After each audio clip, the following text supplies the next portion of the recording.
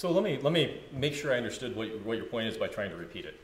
Um, what you're saying is that uh, it's all fine for me to say that things have gotten better with parallel programming, but you've got a bunch of students, and like this many of them actually get to where they would be willing to do it, and maybe even fewer of that actually succeed and are good at it. The tool, will, the tool might actually increase the number of students who will actually do it, but it won't really change the order of magnitude or the, the percentage, you know, that you will get. So, and in addition, you also need to look at, you know, you actually need to have an, engineering-oriented computer science program. That, Um, uh, speaking as somebody who has a mechanical engineering degree, I will not argue with that at all. What kind of computer science is? Yeah, exactly. So, so it's, you know, that's it's extremely difficult to produce students who are able, who are capable of doing this stuff. So if you if you'd asked me when I got my undergraduate degree uh, longer ago than I care to admit, some decades back, I would have made exactly the same point, but about programming instead of parallel programming. That uh, of the people who went through the program, a rather small number of them could actually, you know, take a problem and wrestle it to the ground. So let me let me give the answer uh, about this. So let's go back 500 years. Uh, there's a story. It's probably apocryphal, but it's uh, uh, worth considering. A, uh German tradesman had a son that he wanted to get ready to take over the business. And so he wanted to know where he should, what he should do for the kid's education. He was in his teens and wanted to do the kind of finishing education. So he went to a local professor at a local university and asked him. And the professor, says, Well, it depends on what you need him to do. If, uh, he, for, if the business only requires him to master addition and subtraction, then one of the universities here in Germany should be well up to the job. If he needs multiplication, he needs to go to Italy. 500 years later, we, te- you know, we teaching this to our kids. And yeah, we complain about the math scores, but you don't have to go to university to do multiplication in most cases. I think part of Germany's problem back then is that they were still using Roman numerals, but still. So, so thanks a lot, Paul. Thank you. I, I will not resist the impulse to throw in my two cents, which is, I think what Paul is saying is even though this stuff seems tricky to us now, lots of other stuff has seemed tricky to us and has not seemed tricky later on. And the other position is, well, but there's some stuff that seemed tricky before and still seems tricky.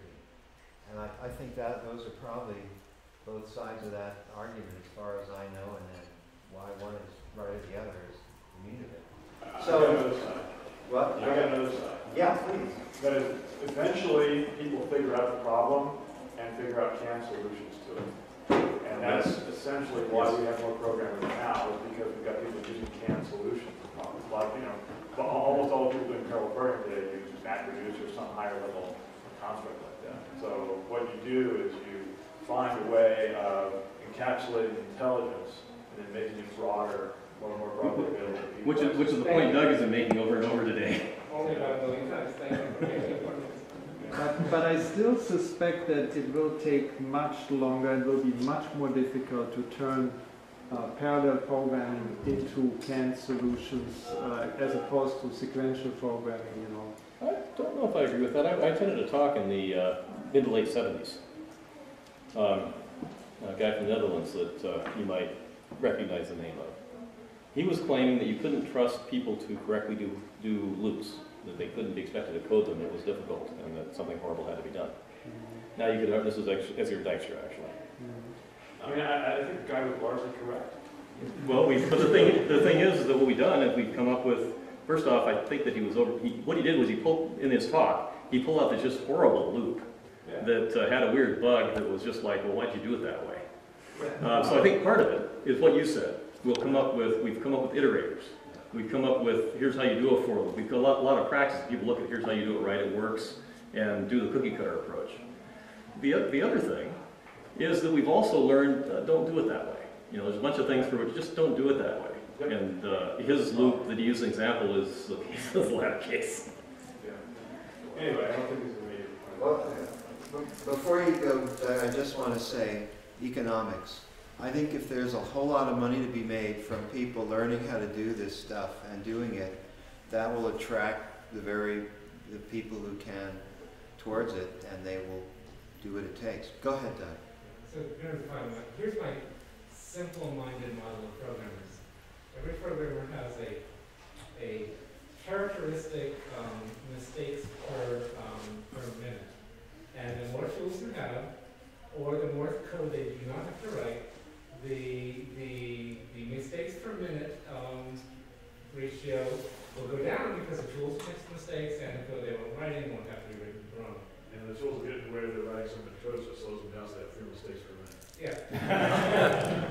So, yeah. so the, the more we can do that, the, the more people who make lots of mistakes can program.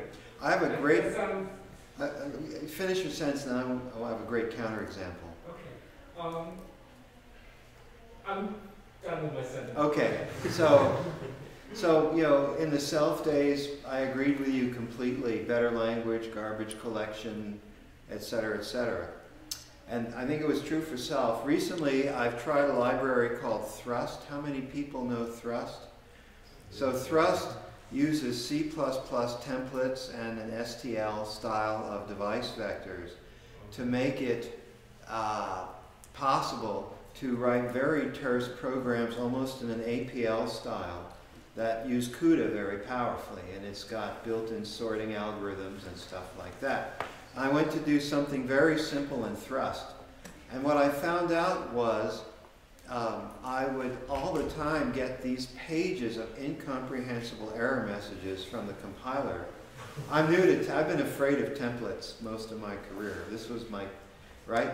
And, and uh, you know, I made mistakes that, that I had no idea what the mistake was and huge. So what I had was reduced to doing was basically commenting everything out but one line from an example, add another line, get a huge number of errors, try it about 10 different ways to find the one that didn't produce the error. And that was a case where the tooling um, may have made me more productive than writing a good sort in CUDA from scratch. But it sure didn't follow your model of optimal, you know, That's mis- just called C plus plus programming. When you would treat those errors as being a tool, then, um, then I stop arguing, yes. I'm sorry, what did you, what was the first thing you said? C++ said? template error messages. Yeah. um, And, and tools should not be in the same Yeah, sentence. I, I, I that's a, that's a key point, or a key nit I have on that. Uh, we got people who are proficient with C++ templates calling parallel programming hard and complex. I mean, what is this? Well, I thought I was proficient with C, I'd use C++ templates a bunch in my own stuff, but the problem was the errors had to do with the library and library templates.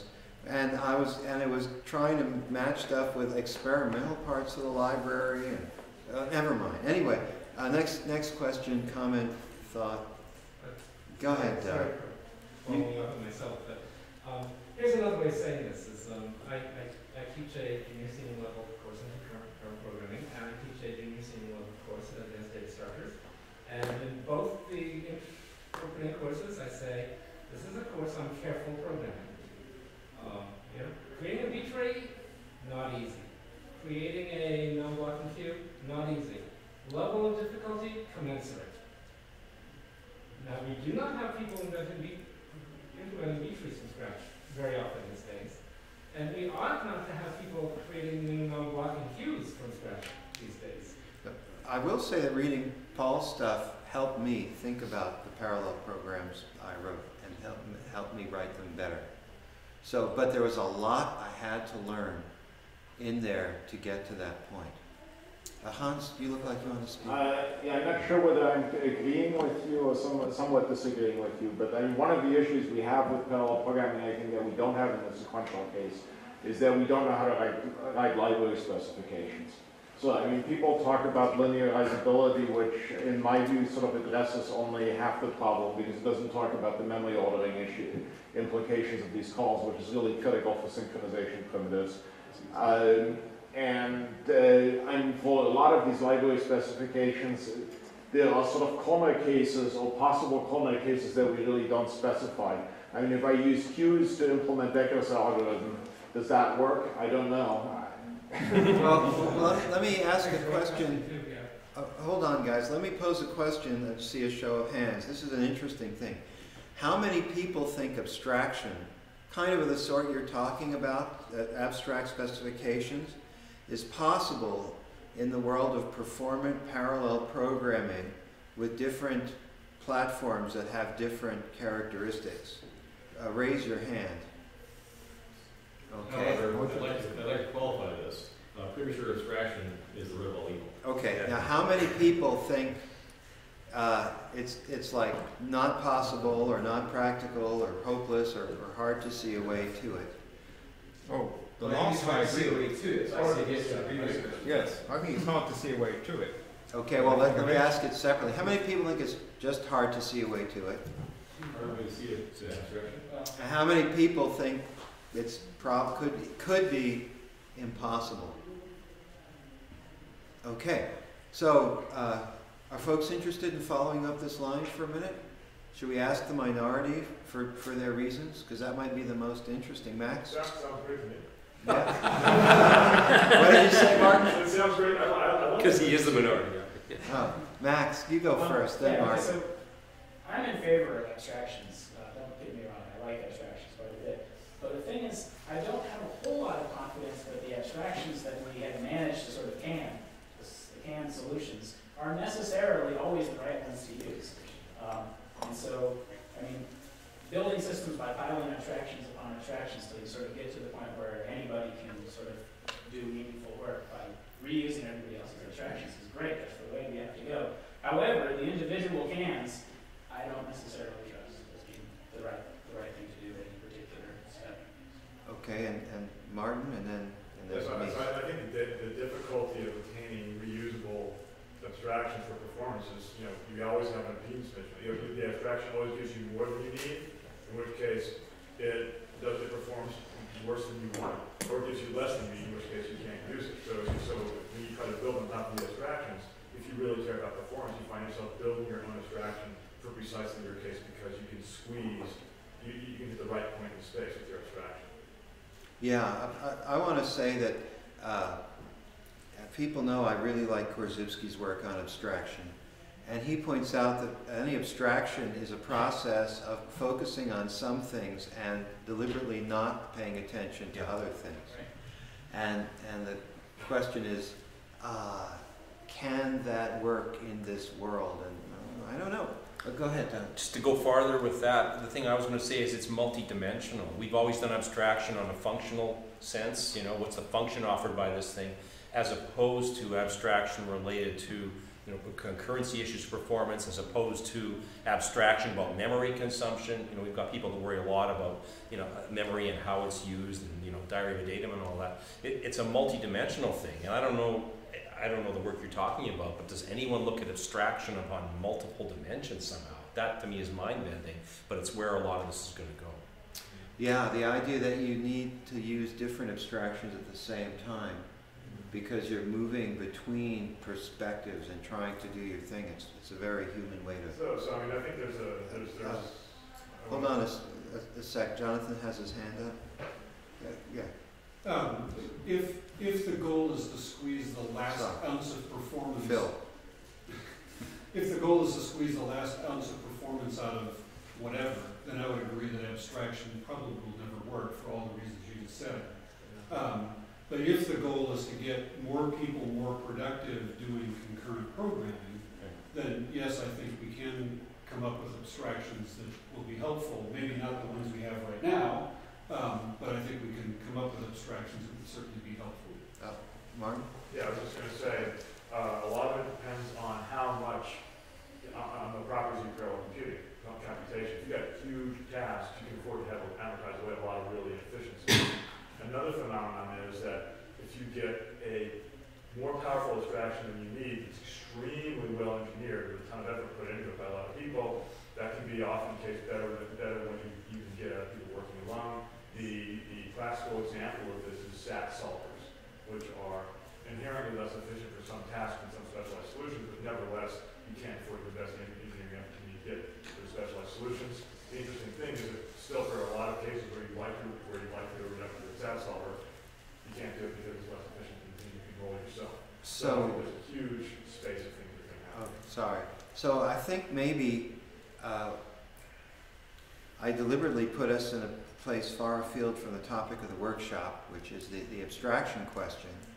But the premise of the workshop is on relaxing synchronization uh, to get the scalability.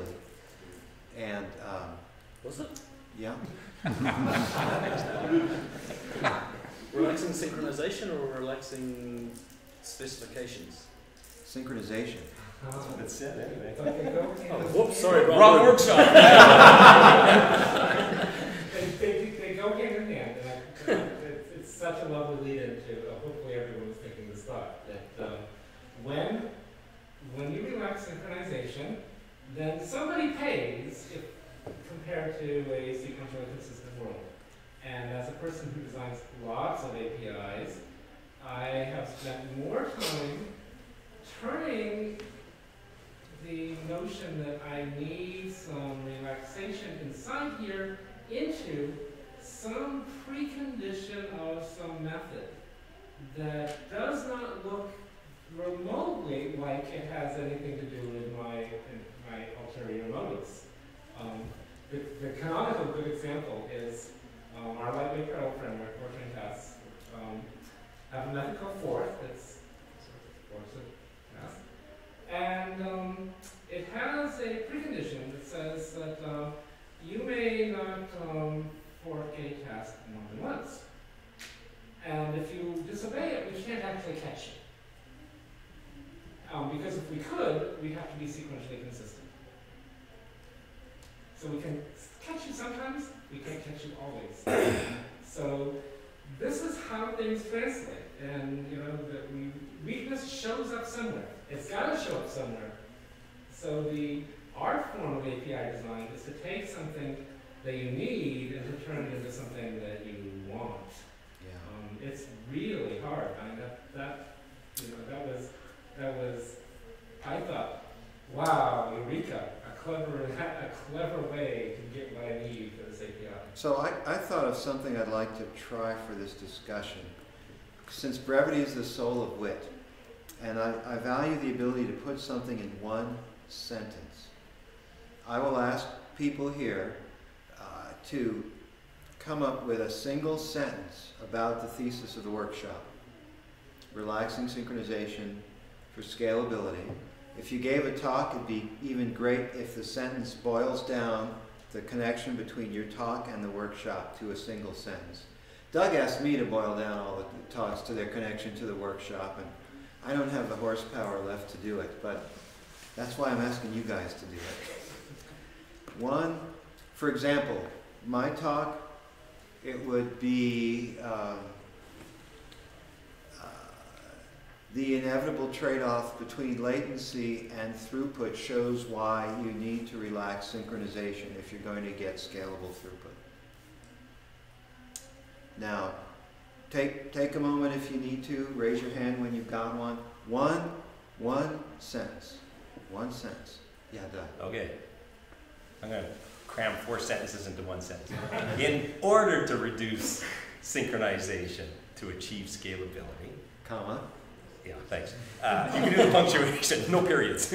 Uh, I feel like we Victor need Borgia. to bridge the gulf between the kinds of properties that Martin has talked about that are meaningful at the application level and the kind of primitives and techniques that a lot of folks here understand about managing all the resources at a much lower level, which taken in isolation maybe aren't relevant up here, but there's some kind of a compilation or mapping or transformation step from what matters to the application to all these details about making things work.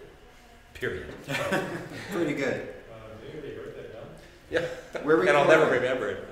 We are, we are recording. Okay, good. So who else has one? Yeah, go ahead. This is a response to Martin's thought. Chill out, it looks good enough. Great.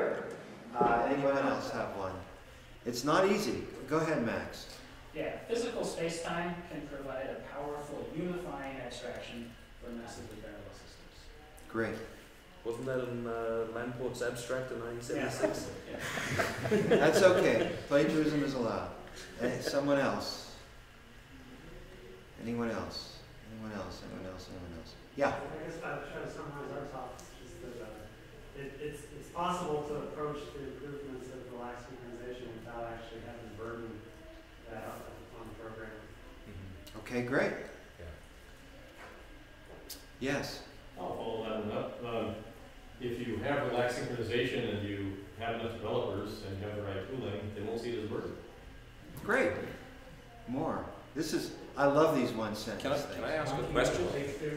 Yeah. So in, in Trey's one-line summary there, Yeah? uh, there was something in that workshop about non-determinism. Relaxing synchronization to get scalability, relaxing synchronization so far that you end up with non-determinism. He's saying he's gonna hide it all from somebody up here, so does that mean we're not doing the non-determinism part? How, how does that relate to application apparent non-determinism? Is? No? Uh, yeah, I don't think that, you know, we were trying to, to tackle that problem. I mean, in, in fact, I had error bars on my graphs, I don't know if you noticed, because, you know, they're multi-threaded apps, you run it five times, you get five slightly different, uh, you know, execution times, so. So it's a fact of life. That's another problem. It's just a fact of life. Go, any more sentences right now? Because we can move on for now. So Yeah, go ahead, this- Martin. Oh, sorry, I think Martin. Understand how much accuracy you need, and engineer your system to take advantage of the opportunities you have to relax accuracy, to, to, to, to take full advantage of the, uh, your accuracy. Great, great. I have Andrew? a sentence that kind of pushes on your questions about abstraction. So, the success of software engineering has come from designing abstractions that conserve scarce resources by being profligate with other resources. Semicolon. the new scarcity is communication. Okay. Okay. Uh, yes. I'll, I'll, I'll defend this. Determinism, overrated. Correctness, underrated. Boy, I,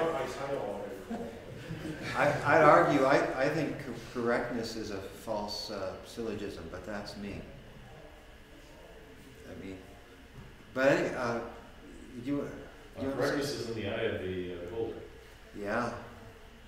Yeah. Sometimes the beholder pays the bills. That's true. Um, Relaxing synchronization for energy and efficiency is inevitable. say that one more. time. Relaxing synchronization for energy efficiency is inevitable. For a what of efficiency? Energy Energy, efficiency. energy. Oh, It's thank inevitable. you. Sorry. So this guy makes a comment here. I mean, Please. most of the talks, mine included, focused on sort of mutual exclusion synchronization in the context of shared memory machines. But I think the real important thing is we have large global scale distribution of computations that need to access some shared, some conceptually shared state. But there, that's when the bank is really going to come in for understanding how up to date to the state. and how. And There, I think there we'll see a lot of uh, very th- things we would call relaxed synchronization with a much bigger payoff. Sorry, the, the applause. Uh, I, was saying, I think, I think, I think relaxing synchronization isn't gonna mean, the biggest payoff isn't, hey, we don't get, hey, we, we get not to have locks in our program. Relaxing synchronization means, you know, I don't have to sit here and go through a whole bunch of rigmarole, to be sure that I get the latest, you know, the, the up-to-date, the millisecond up-to-date data from this machine a thousand miles away. Got it. So, um, let's see, I wanted to say something to try to reconcile the views. Uh, uh, we heard several talks about uh, getting more performance as we relax synchronization so far to, to get things non-deterministic. But I, I could call a Martin Rinard camp, but that's okay. Other folks, other folks here too, as well. And um, then Hans got up and gave his presentation, and the um, I think the way I took your presentation, Hans, I want to give you a chance to respond and rebut, was um, if you're using uh, a C compiler or C++ compiler, it may betray you if you have data races. Uh, if you're on um, Intel processors, it's doing a lot of synchronization anyway, so why worry about races?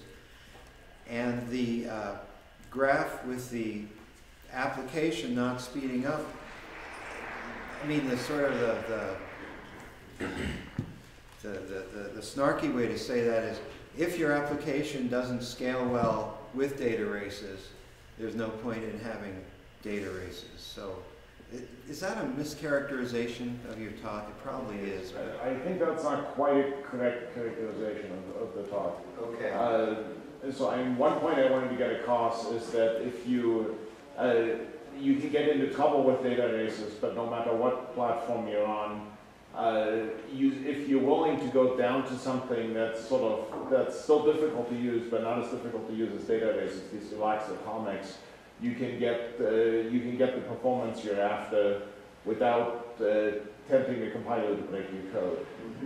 As far as the performance is concerned, uh, yeah, I'm not sure that that's, uh, that's an accurate characterization. I mean, this, this application didn't scale because of memory bandwidth, right?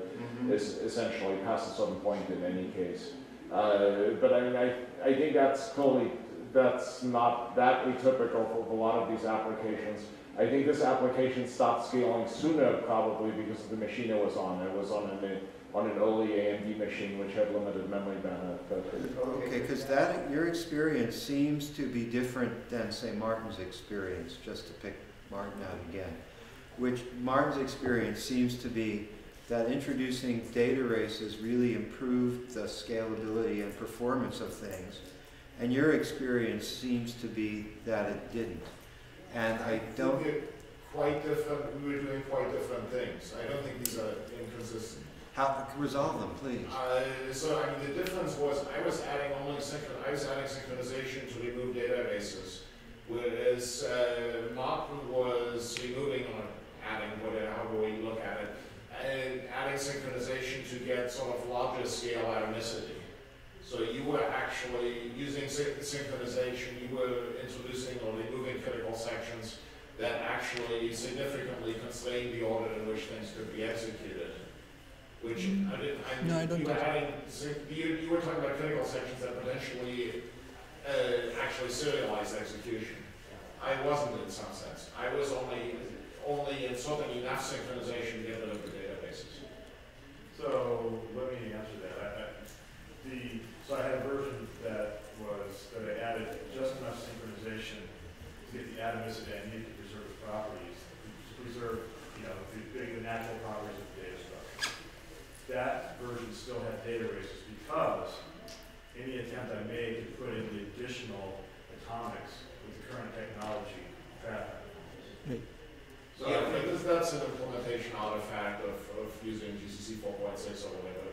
That's not, No, but, but here's the thing, right? I don't see how you get rid of that data race on current hardware without putting in some, some fences that will drive the performance. uh, Hold on. Well, I mean, again, if you use mem- the memory order relax, the minimum ordering, which gets you as close as, as close to the basic code as you can, uh, that doesn't need any fences on, on x eighty-six or on, or whatever.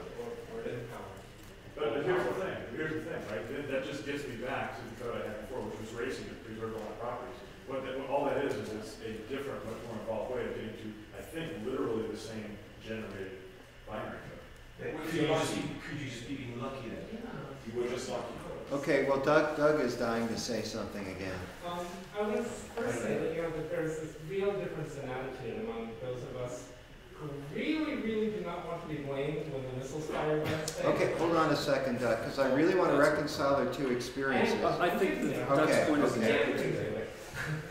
Um, so the, the, the notion, the notion that there are, there are, um, there, that there are unsafe states that are so unsafe that you, that people will die from the rattlesnake bite and whatever, um, Yeah. is a different of concerns about whether you could actually reduce the atomicity or reduce the size of a critical section. I, I think Martin's code can be made to be completely memory safe, race free, at no cost if you gave me a week. But it would be that, it would take me that long, because, you know, if you look at it, there's only a couple of these vector additions, they could be done optimistically, there's, there's a path so that you lose nothing and be correct, and you're just not willing to put the effort into it, and I can see why, because it's a throwaway program. when it's not a throwaway program and lives are at stake or deadlines are. Oh, important or Okay, I, whatever. I, I got your position. Uh, Is that your position too, Hans, or is it your position different? I, I think it's very similar to what, uh, what Okay. Doug just said. So, so, uh, Um, but, and I also, I think I can, I saw something that works as well as, as Malcolm's happens to work, that follows the rules. okay, so, so I just, I'll, I'll get to you guys in one sec. That's a tough argument to make. You know, Martin, if you were just as smart as these guys, you would, you would have done this. Go, go ahead, What about, what about ten thousand cores or hundred thousand cores in Amdahl's law? Well, on those lines. I mean, if you've got this much in your hardware or your language or whatever, you've got just the smallest serial section, you get enough cores sitting there, aren't they all eventually gonna end up lined up waiting or hung up? But the synchronization we're talking about to remove bases doesn't happen. So what- Well, what I did hear think, Doug say for free. I didn't know if you meant really totally for free, there's no, Oh, Okay, so. Doug was promising something stronger, and potentially something. So I think I can put this particular thing to bed and then go on by saying that the three of you are each drawing on very different experiences. Martin's experience is that making things dangerous worked well and there and any safe way he could have thought of or tried wouldn't. Uh, your two experiences is that you have in the past found problems where you have made things pretty safe or, or as safe to some point and gotten them to work well. And speculations about what you could do in a week are more speculation that I think are deriving from the experiences you've had. And now let me call on, on I can't remember names, I'm sorry, but go ahead. Christoph, go ahead. Uh, so isn't it, I mean, this whole thing, isn't it about, you know, uh, we have some, there's some specification that you want to implement. There's a particular platform that comes with cost for synchronization and computation, etc. And then, and then the actual fundamental question is to figure out what is the intrinsic cost in terms of synchronization and communication to implement this particular specification. And the only difference here between Martin and Hans seems to me is that they are looking at different, very different kinds of specifications with very different kinds of cost or amount of cost in terms of synchronization and communication. So the, the actual question, question is, what is the intrinsic cost to do something, to do a partic- to implement a particular specification? Uh, That's not a way I would frame the problem, but okay. And Doug, you wanted to say something I just before. wanted to put, put something on the, on the queue. Uh, so a second ago, there was a comment about, I don't wanna write the code that explodes the bomb, that does the this and that. That question I wanted to ask somewhere during the day was, uh, what are the space of applications that are amenable to these techniques? Like, you know, there, Martin's had some slides first thing this morning about finance and search and this, and, and also Ravi did. And I, is there something written somewhere? Has anybody done some studies that says, yeah, this much of the computing cycles of the world, or this many applications, or something are amenable to this? Because some things aren't. You know, so that's a question, open question now. So we had one slide on that. I saw the slide, but you know, is there someone that's done a real study on how many places you can you can be? Uh, uh, what, what was the phrase in the in the paper? Accurate enough, often enough, or something, and it's okay. I think there's a first order easy approximation. Anything for which a randomized algorithm has been devised is, um, can, can take advantage of non-algorithmic, um, randomness via races. And that's an easy, big chunk of the, the space. Uh, So- go ahead. I think So, so I think I think I think there might be a, a step in between, and which is to say that we need metrics by which we can say whether the thing has been working or not. We can revert back. So so really, from an engineering point of view, we really probably need two versions, right? And say and if there is some some syndrome, some signature which we can develop, okay, which tells us that we've gone very far from. Well, wasn't the that one of the talks we had Yeah, today? there was it was one of the talks, right? right. And and then then we can revert back. So it doesn't have to be uh, one or the other. So, I mean, I think the, the big difference for me is there's a set of traditional information processing applications. Things like, uh, compiling, probably databases, where you've got enough control and the system is small enough that for the particular computation you're looking at, you don't lose information, you don't apply approximations. But for the vast amount of remaining computations, there's approximation involved somewhere, but it's only the approximation the model. Or, you know, all this kind of stuff. Or there might be there might be some scientific like where people have argued about the numerical precision, okay, and where, Yeah, where it I might mean, not. it- Yeah. it- Any floating point computation, for example, has at least some tolerance for approximation. So I think. Well, that's an even better answer. Anything, that can- anything you can use a floating point number on. Hey. Oh, I like it. It's almost right. Well, I had a, I had a professor at Berkeley who gave lectures on bridges falling down because of people using floating point and not understanding it properly. That's right, you know, it wasn't accurate enough, often often enough, was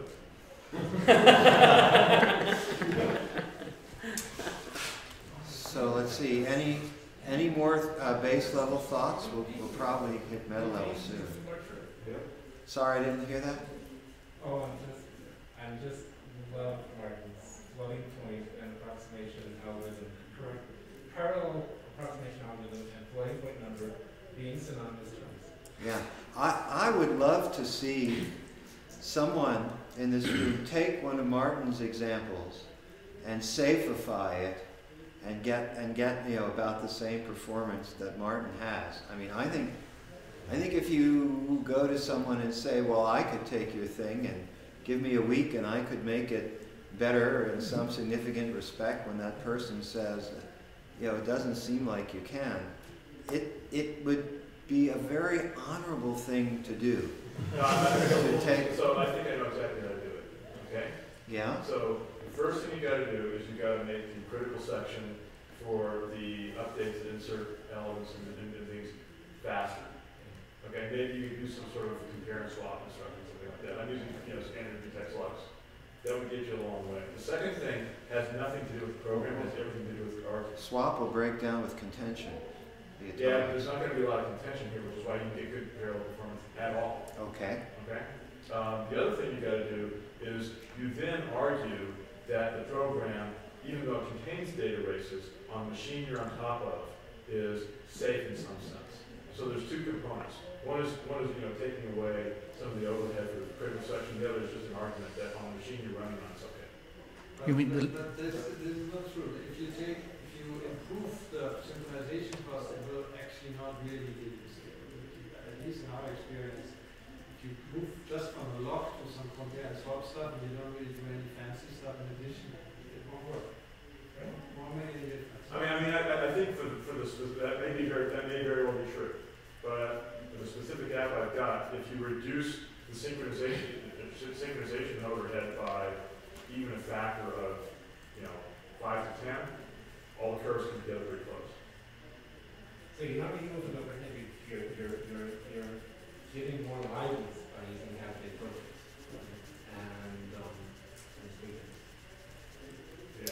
so, so, so, so, so maybe that wouldn't do it. I think, It- I think it's- if you test and you fail, then, um, in, in, in this particular program, That's your ball. it's gone.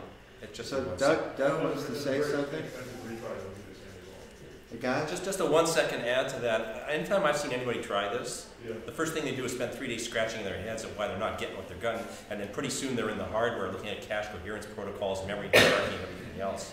It just gets interesting because stuff gets in the way. There's hidden taxes on scalability and whatnot. I'm not saying it can't be done. I'm saying there's a lot of stuff there, and I do believe it can't be done if you're going to do it for a zillion cores, because those little bits eventually add up. Big enough problem, there will be contention. So I, I, I'm detecting a, uh, a little bit of sort of quasi looping, and we have dinner and the workshop process to discuss. Are there any base level comments people are, are kind of dying to get out before we move up, before we up level? Yeah, go ahead. I'll make a controversial statement perhaps. If you get a big benefit from relaxing synchronization, your algorithm is probably broken and you should fix your algorithm first. And why do you believe that? That's been my experience. Okay? So, uh, uh, responding to that, but something I've been wanting to say for a while and that I said to a couple of people in private, we had quite a few discussions get derailed today by, well, wait a minute, what is your definition of races? And then everyone says their definition is like, oh, these are the same, what's the problem? It's not about what the definition is, it's about what are the implications, right? So I spend quite a bit of time in Hans-like world and quite a bit of time in Martin-like worlds. And in the Hans-like world, you know, the, the, the metaphor we always use is if you have a race, your machine can catch fire. Now, if most of us, most of the time, there's actually, unless there's a bug in the operating system or a new interface, please catch fire, that's actually not going to be the real implication. We're in some kind of virtualized environment that's going to control the worst case even for malicious programs, right? Now, if you guys are both in a military facility that actually has an interface to fire, fire the missiles, I bet you'll find yourselves in agreement about a lot more things, right? I there are requirements, and then. Right, and those are- Same requirements, you tend to converge, to this Yeah, okay. I'm not saying you'll converge to the same solutions, but I'm saying you'll have similar opinions about how, how much is it okay to sort of speculatively remove some loss. Okay, so a couple of minutes left for base level stuff. Yeah, Phil. Um, so listening to some of the discussion about changing algorithms by putting compare and swaps and the retry loops and all that kind of stuff, it reminds me an awful lot of the ugly CCAVL code that I put up in my talk. Um, and I wonder if maybe some of the people that are doing that kind of work ought to take a look at relativistic programming and get the benefits they want without the ugliness. Okay. Um, good point. There. Uh, any last, last, we have maybe time for one more base level. Yeah, go ahead, Beck. Uh, just at a very general level, um, I was, I, maybe I missed some part of the conversation, but maybe discuss this too. Uh, wh- so we, we, we design algorithms, and we're always thinking about the worst case, and we, we, we code things up, and we always think about the corner cases. So so is there peop- do people do people regularly think about the worst thing that could po- possibly happen if, if you know races occur and things start going tragically wrong? Uh, is there a better way to bound the amount of damage that can possibly happen? It, it, has I think the answer is yes, but we don't have time to go into it now because that, that would have been a good thing to bring up when we had more time, because it's a question. Uh, but we've used up the 45 minutes that everybody voted on for group discussion. If you wanted more, you needed to cut down the papers. Maybe take a quick vote if people want to stay another 15 minutes or half an hour.